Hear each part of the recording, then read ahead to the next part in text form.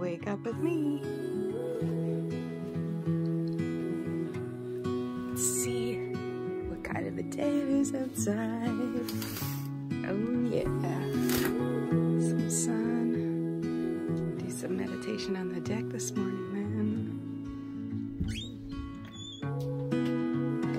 Bathroom, put you on hold.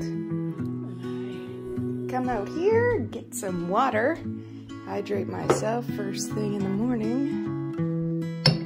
Lucky for me, I'm on an excellent well with delicious full mineral water.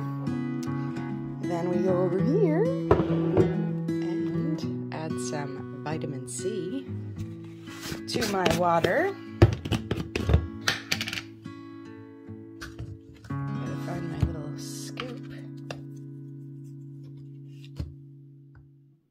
Use a quarter of a teaspoon every morning, and then usually a couple throughout the day, maybe more, depending on how I'm feeling. And I guzzle this guy down. Yummy. Now, let's go out on the deck for some stillness and meditation. My kombucha. It's fizzing really good yesterday. Still fermenting. It's in its second ferment. Hard to see. It's hard to see because it's so bright. And lemon water, my lemon vinegar cleaner. I'll have a video on that later. And let's go outside.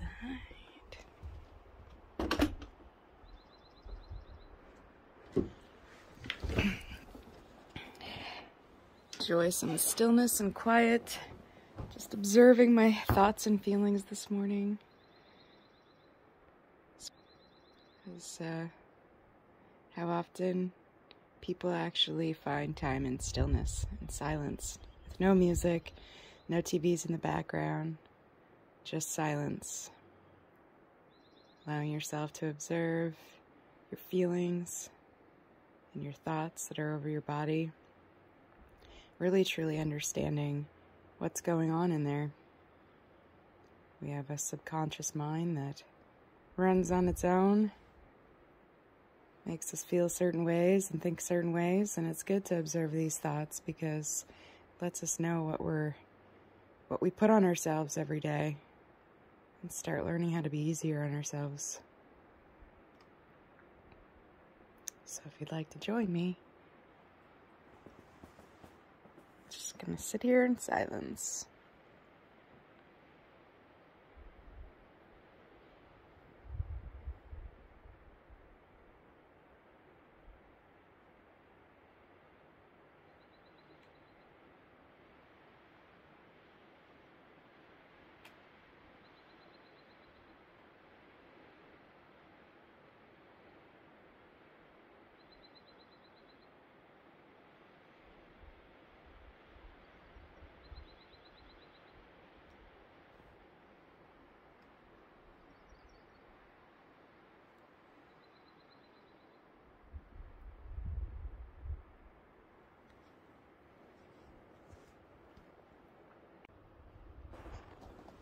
Right.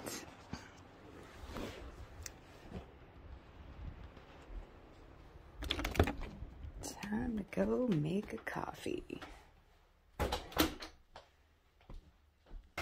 Ooh, the magic of technology. All of a sudden the coffee appeared.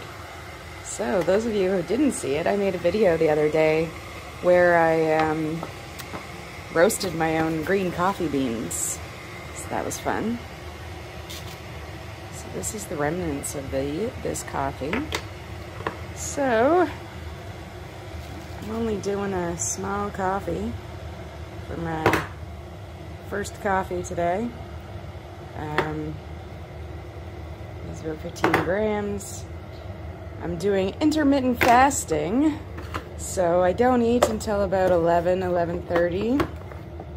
So I usually get up and drink some water and have a coffee and uh, read some books, do some meditation, some exercise, work on some of my business posts, and creating a course that I'm going to be offering soon that I'm excited about be a group course.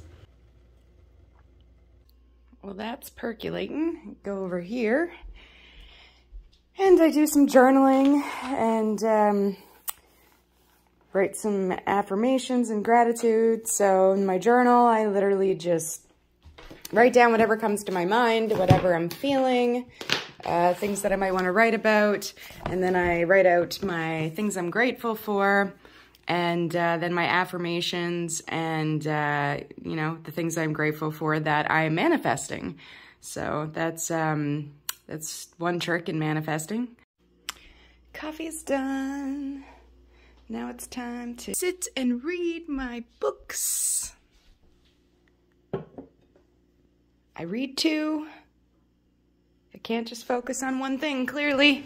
So I read some of the Kybalion, and I've already listened to the audiobook, which has been great, but I needed the uh, the copy. I had to have a copy. And Neville Goddard's, all his books are in this.